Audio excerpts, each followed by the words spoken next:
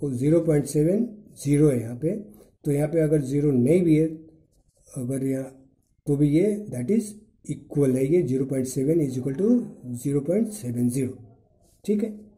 क्योंकि डेसिमल का सेवन तो है एटलीस्ट यहाँ भी यहाँ भी। हाँ कोई और नंबर तो नहीं कोई और डिजिट तो नहीं ज़ीरो के अलावा तो ये इक्वल टू होगा। यहाँ पे देखो वन पॉइंट टू सिक्स और यहाँ पे one point six two obviously one point के बाद टू है पॉइंट के बाद सिक्स है। तो ये तो छोटा हो गया ना this is smaller than this one अब nine point eight and eight point nine यहाँ पे डेसिमल के बाद नहीं देखना है। यहाँ पॉइंट एट देख रहे हो या पॉइंट नाइन देख रहे हो। नहीं पॉइंट से पहले देखो वन प्लेस पे नाइन है और यहाँ पे एट है।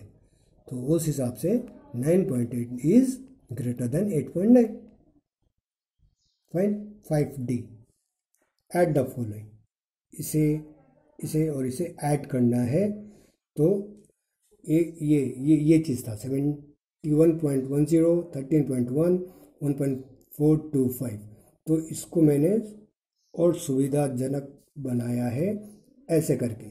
जैसे यहाँ पे थ्री डिजिट्स यहाँ पे एक डिजिट मिसिंग है तो सेवेंटी वन ये one double zero zero zero दे दिया।